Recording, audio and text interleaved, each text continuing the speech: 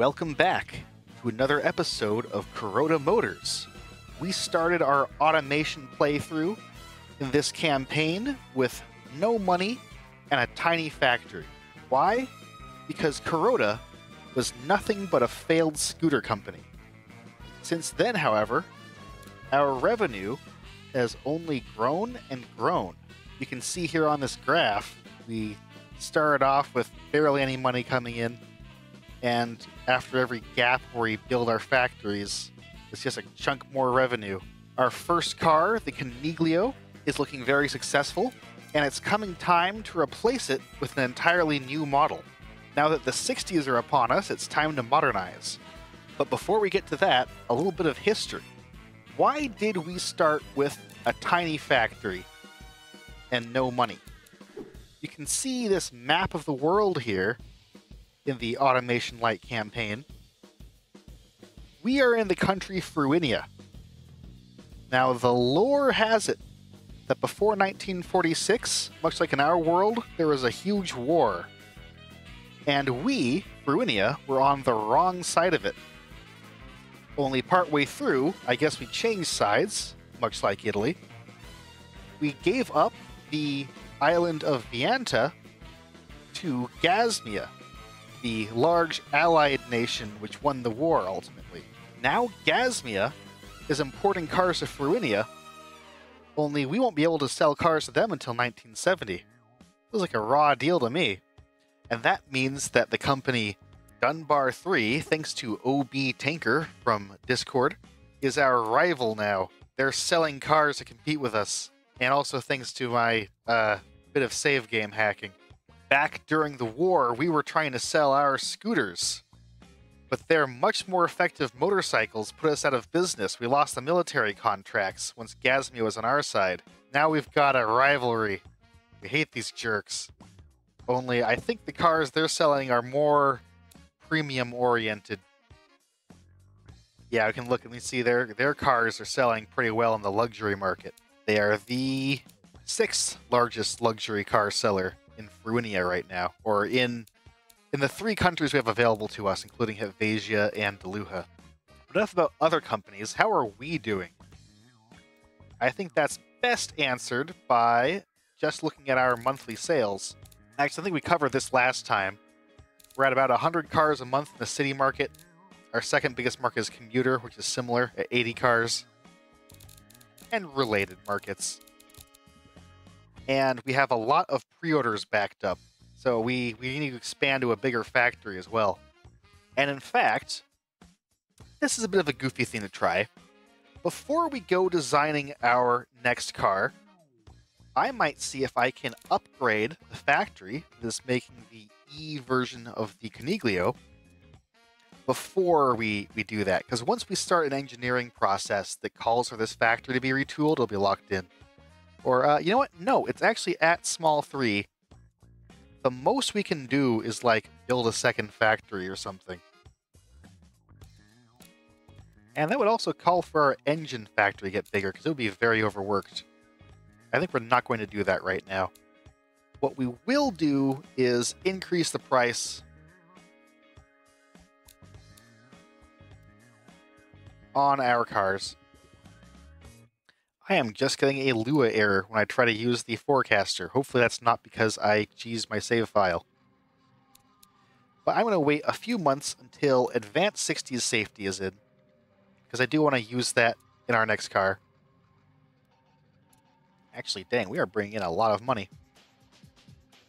So the next car will just be a successor to the Coniglio. It will be the Coniglio 2. And we took a poll on the layout of this car. So we're looking at this uh, 2 meter wheelbase 60s body. The hatchback will be our primary version. And we are probably looking at aluminum and ladder frame, but I will get a quote on on steel presses and see if we can really go nuts with making this car cheaper. I'm sticking to, I think, double wishbones all around, which is, again, kind of an expensive suspension choice, but I think it's worth it for us. And the engine will be the Linita. Why a new engine? Because if we want to make this car front-wheel drive, we need an engine that is very short. So we're looking at a Boxer 4.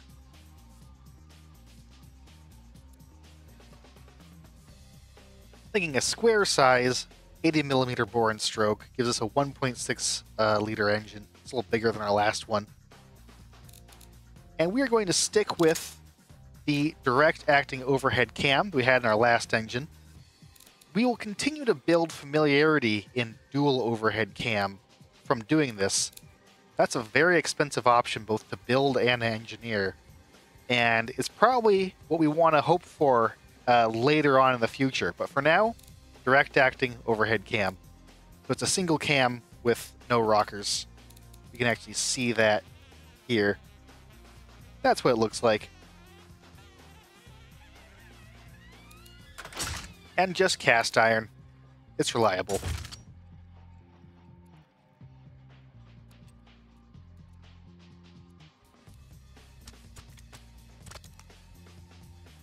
So just at a quick comparison, we have an engine that's looking a lot more powerful than our old Maratona.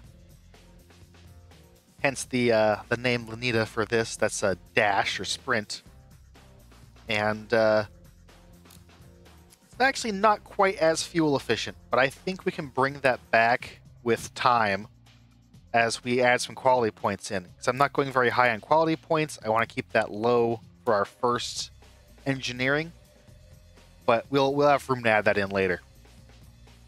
And it's looking a lot more reliable. The uh, the family design year matters a lot for that. That is to say, the the first time you build your engine, the family design year is locked in. And if you want to improve the stats that are associated with that, you have to design an all new engine. Variants don't update that. So that kind of represents that your engine is, in fact, old, no matter how many tweaks you make to it. And uh, reliability is a big factor in that, and weight is really the other one, I think.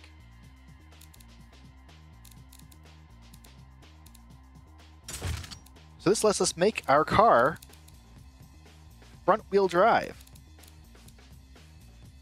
which uh, is visually a little bugged right now in that there is an all-wheel drive box stuck on it that really shouldn't be there. But you can see that drives the front wheels. And the engine's out in front of the transmission still. And we have a lot of the lovely features we're accustomed to. Such as radial tires.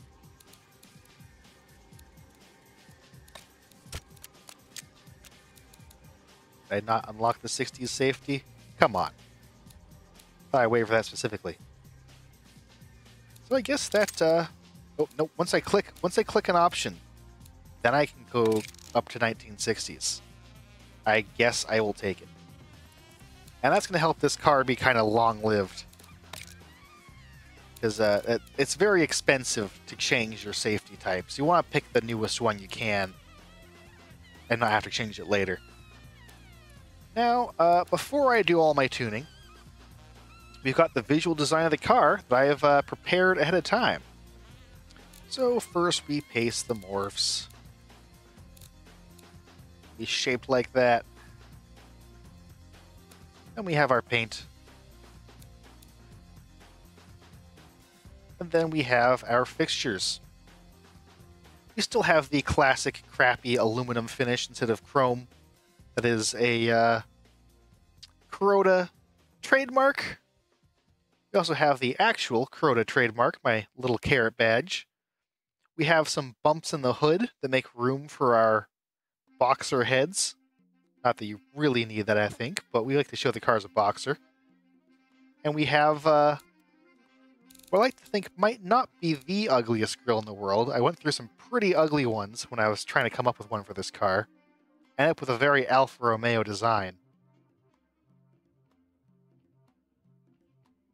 Then around back here, I uh, I tweaked the seam so that this whole thing is a tailgate instead of just the top of it being that, that didn't really look like for a hatchback in the original car body. And now, uh, okay. I can't get the advanced trim settings to close. That's another fun bug that we have here. But I don't think it will stop me from uh, working with the car. I do think I should have made a third one of these. That seems like an oversight. There we go. And there it is, the Coniglio.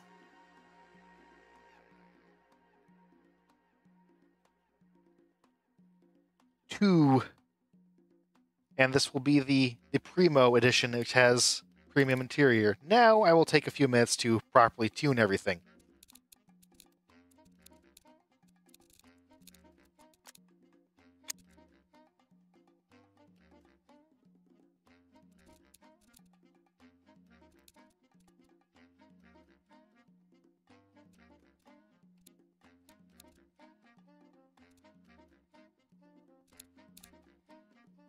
So let's look at what we've got here. The engine, aside from being a uh, boxer instead of a inline engine, our design principles are very similar. Actually, I think I can afford to take a little of this balancing mass out. There's a couple points of reliability and some smoothness, but but we get that throttle response. This is shaping up to be a surprisingly sporty car. High compression, low cams, low springs. Uh, everything is just kind of tuned for efficiency at the, the lower end. We still have a single eco carb, which I had to make pretty big to handle this engine, but it's fine. You get a tiny bit of fuel efficiency by doing the fuel map, but it just destroys my throttle response. I'm going to leave it right at 50, honestly cast exhaust headers, reverse flow mufflers, keep it quiet. And then the car itself, we still have three speeds. Our first gear is a little more reasonable at a little over 30 miles an hour. And we managed to get uh, 11 sportiness out of this thing, which I think is not bad. Tires, they're very tiny. 155 millimeters is not a lot. Uh, I do want to check am I getting a low profile penalty? Because I'm like, like, like the widest I can make them right now. What I'm looking for is this material cost here gets a lot cheaper as I make them bigger. And I'm not hitting any point where that happens. So I think I'm okay. Top speed is almost 90 miles an hour. Not quite. Brakes, they're still drum brakes. They're not very good. But we have the car stopping at least. Manual power steering. Are we getting a warning for that? Uh, we have engine clearance warnings. Apparently the engine's a little on the big side. Consider reducing engine length. Consider reducing engine width. Thank you. Overdrive, so we get for gas mileage. Slightly reducing drivability and comfort with no power steering, but uh, I'm going to stick with that. I might, I might make the engine like a 1.5 instead. We're still making 50 horsepower I give up that little bit of size keep my stroke. We're not stressing it out any. Service costs are, I'm guessing that's reasonable at $745 a year to keep the car running. Well, I would say we could compare it to an existing car and see our stats, but uh, that button is gray for me.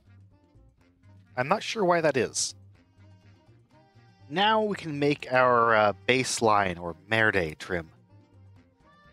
And I'm also finding that the click to compare cars button is back to being functional. Uh, ooh, hmm. Uh, how, how do we compare? That works. Compared to the old Primo, we are a lot less prestigious. I don't know why that is. And a lot less comfortable. Do we already... Oh, I just selected Premium. Standard. We are a little less prestigious and a little less comfortable. I'm not entirely, again, sure why that is, but uh, we're, we drivability is better. That's a big stat. We're a lot more sporty, which I like. Uh, Fruinians like that a little bit in every market, and we get some overlap with the uh, fun market, which is like your hot hatch kind of thing. Safer, obviously. More practical. We are smaller, which is better for city markets. We are noticeably more reliable that's important to us too.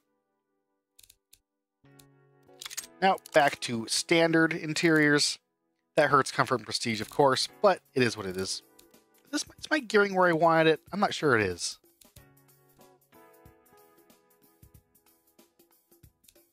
Yeah, I get the best gas mileage for a little bit off of peak speed. That's fine. We're not a prestige brand that depends on speed as much. Ah, and tweaking the interior weight has caused us to uh, have some steering angle problems, uh, some oversteer problems, and a little suspension adjustment will help that. So there is the lovely blue color for our baseline shipbox trim. And in our factory size, we do probably have room for a third trim, but I'm going to save that for after we've got our initial engineering done.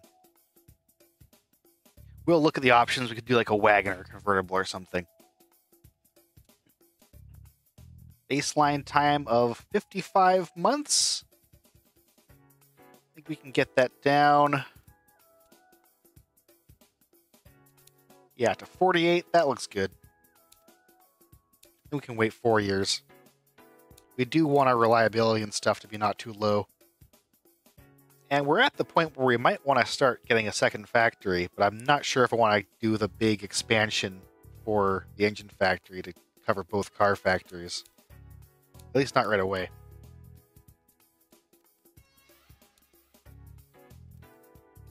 And we are finding that we benefit from a lower automation. Uh, at least for our initial facelift here, because our, our, our automation slider and the engineering for the car is not that high. And uh, it looks like we should print money here.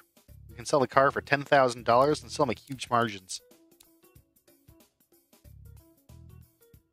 Now, we are projected to have a loan or a total project cost of 40 million. Our loan will easily cover that uh, we have the option of going to 200%, which is the maximum it'll give us at all. So that makes me want to go back and check something. If I change the car to require steel presses, which will change the nature of the project a lot, will the bank give us that loan?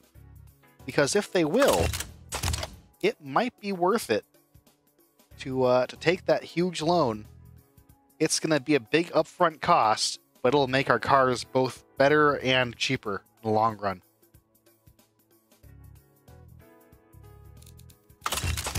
just to hold stats here, we would apparently lose some drivability and sportiness uh, and gain some weight. But we would save 20 man hours per car, which is enormous, and we gain a lot of safety. And some of this is probably because we haven't tuned a suspension for this either. I'm not going to tune it though. I'm just going to skip through the project and see if we can get the loan it would necessarily have to go into a new factory, and that will not not be cheap. No, sir. And initially, even says it'll be more expensive per car, but that's trying to pay off a hundred, two hundred million dollar set of steel presses. Ooh, and the car will take longer to engineer by a lot. That's another factor. But I just want to see. Ooh, we can get ninety three percent loan coverage. That is that's really squeaking by. That's close. And it would make a big, big difference. This model would be a lot longer lived if we could squeeze it into that larger factory. Although, then again, we would also need to upgrade our engine factory. Otherwise, we'll be in deep trouble in terms of our actual production numbers. We won't be able to put engines in our cars. 85%. I could risk the whole company on the prospect that our Coniglio 1 will bring us in enough revenue to pay for this. And uh, do you know what? I think I might. So give me another few minutes. I'm going to retune the car.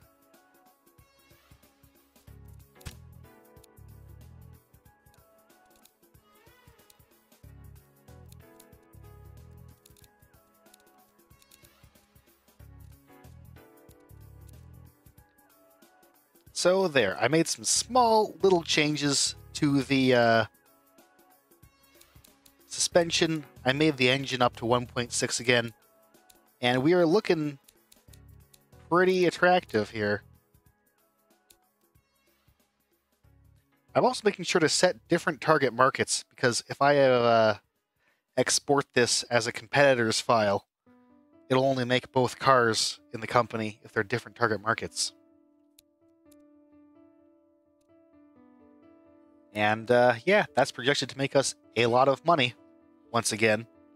I I think more money. I'm not sure. We'll be actually selling these for more uh, a higher price, uh, despite being made out of cheaper steel to pay for the factory initially. When I have to, I do have to spend a little on getting the car done on time. Okay, process is is not gonna be so hot. Reliability, we are gonna cut some corners and I'm just gonna whip uh, our engineers a little harder. And we can get this done in 48 months. We will have to make up these sliders later, uh, ideally in later facelifts.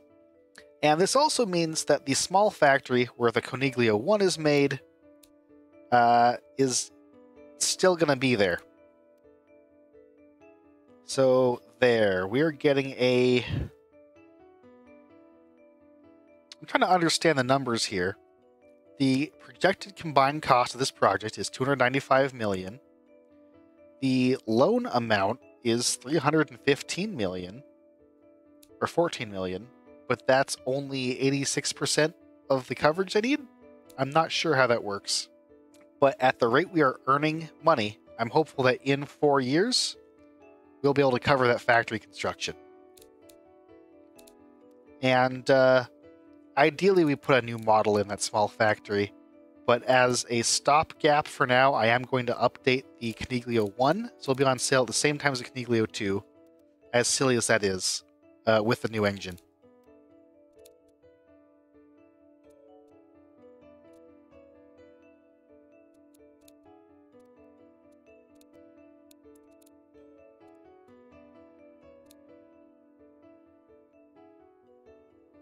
And apparently, despite being, again, made of aluminum, these will end up being our cheaper cars in that we're not uh, accounting for some tooling cost. So let's mark them down.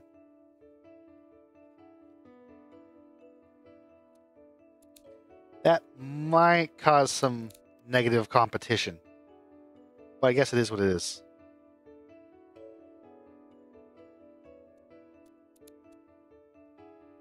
So there's our weird project plan. With a loan we'll try to pay off in a stupidly long amount of time, because I'm a little nervous about our ability to actually do that.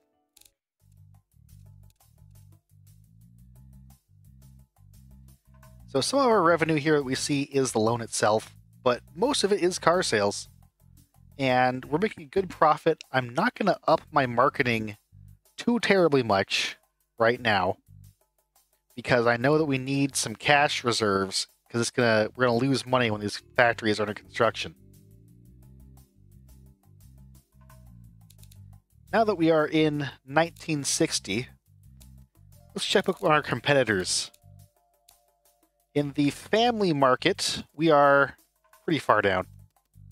We must be the uh, 19, 20, 21, 22, 23, 24th largest seller in the family market with 153 cars, by the way, which is actually not bad.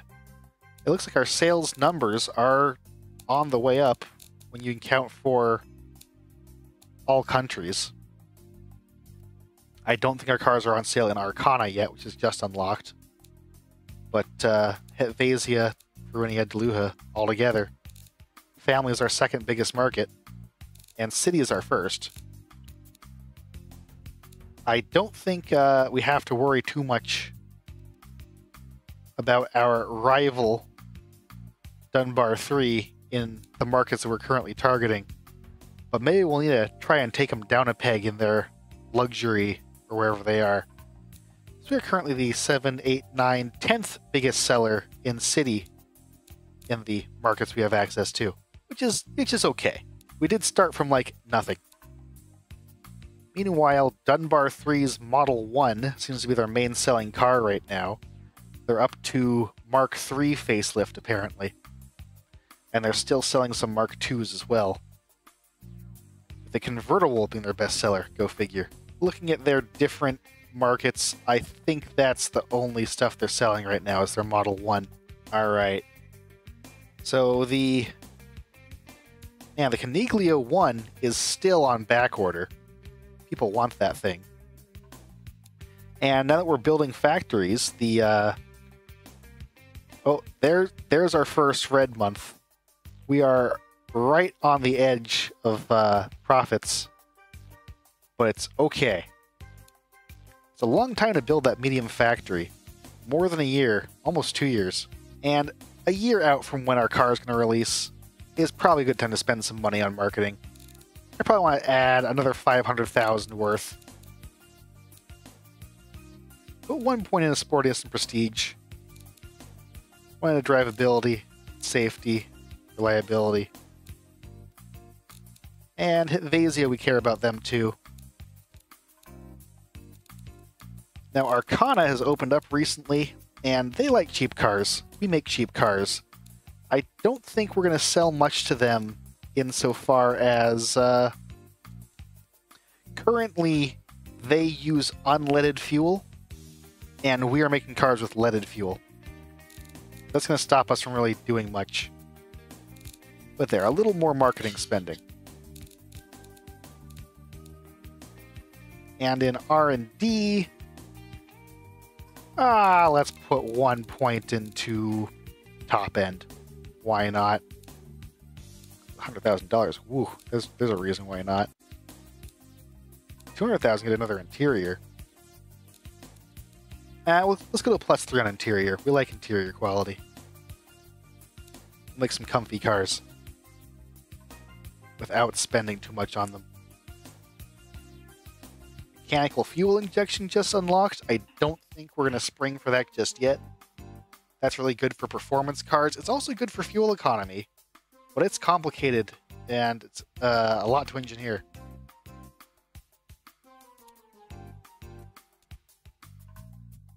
Okay, so first month of the Coniglio 2 is out, as well as the Coniglio 1 at the same time. We are in pre-orders, but losing money by some margin that's less than our loan repayment. But our loan repayment is huge. It's to stick around for like six years.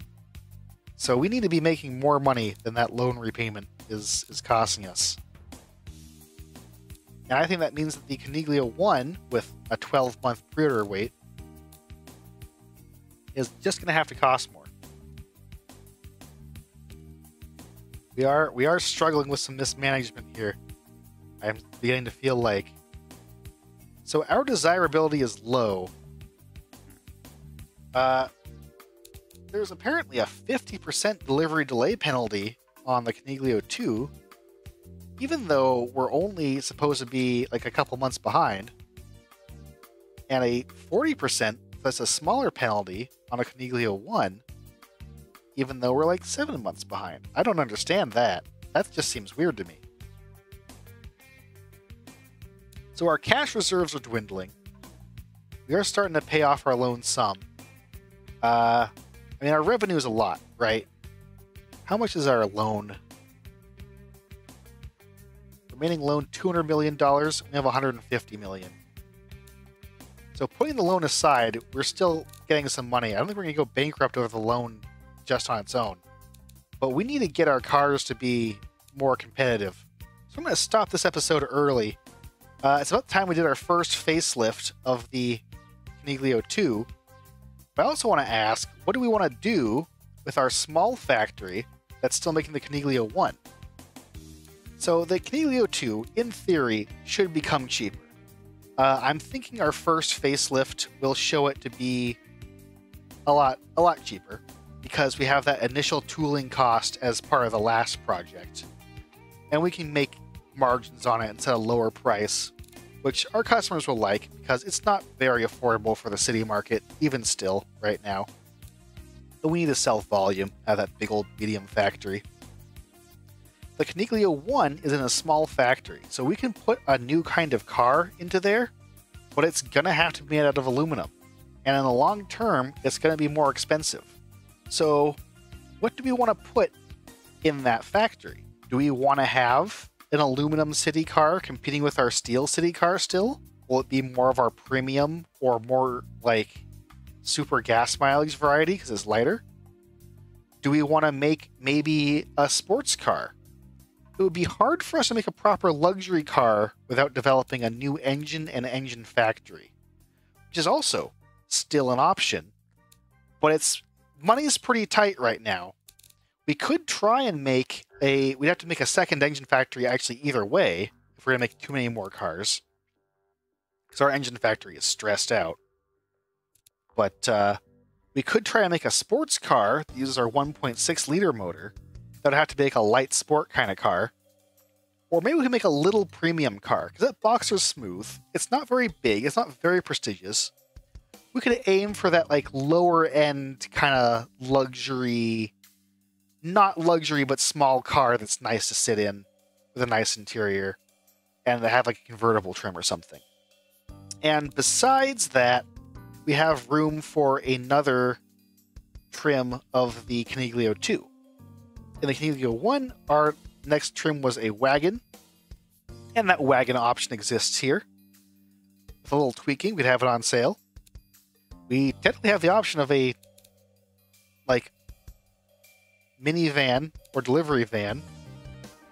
That looks rather ghastly, but we, we could make such an ugly thing. Or we could do a sedan, which would lean into that commuter market that we do already get some sales in, and potentially the premium market. And we have the option of a convertible as well. And in regards to new cars, for our, remember, aluminum only factory, low production numbers, high cost, we do have access to some cool looking sports bodies. Or we could even try to do the impossible and target something like the off-road market or something with uh, our tiny factory. What are our market sizes? So, grand touring and luxury, kind of out of our reach. Convertible and premium could be an option.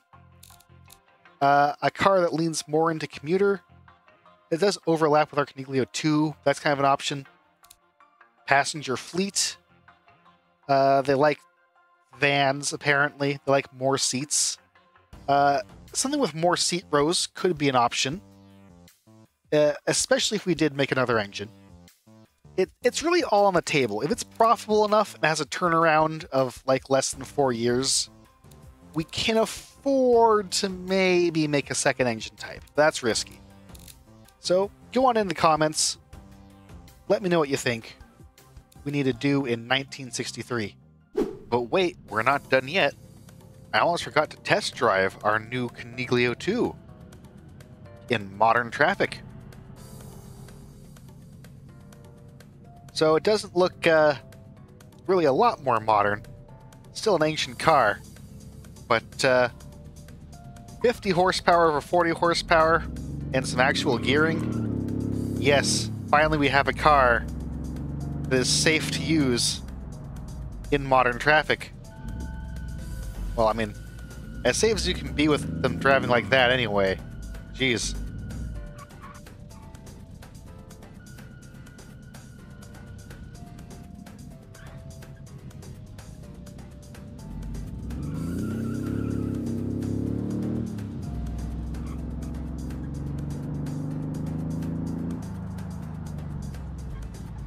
Seems like uh, Second is the slow gear on this one.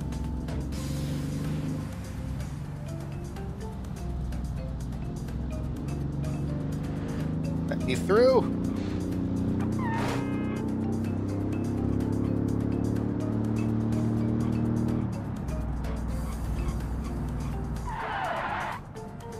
Well, I said that.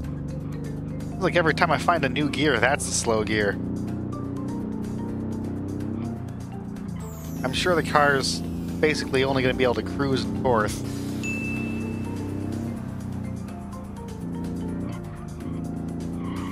And we get a nice, like a little bit of rotation in the steering. That feels pretty good for a front-wheel drive car. It's nimble. I can see why it came up with the higher sportiness score in game. I like that. We can be can be little cheap cars that are fun to drive. But have to all be miserable. Because it's small, I can make the gaps here. So there it is. The Coniglio 2. Much more of a drivable car. The extra 10 horsepower and gearing makes a big difference.